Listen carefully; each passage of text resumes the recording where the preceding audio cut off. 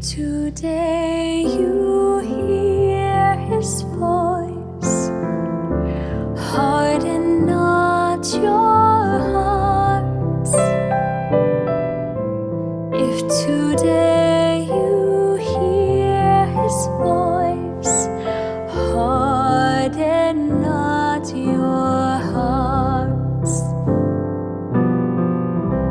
If today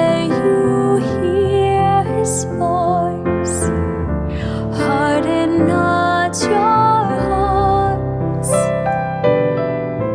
If today you hear his voice, harden not your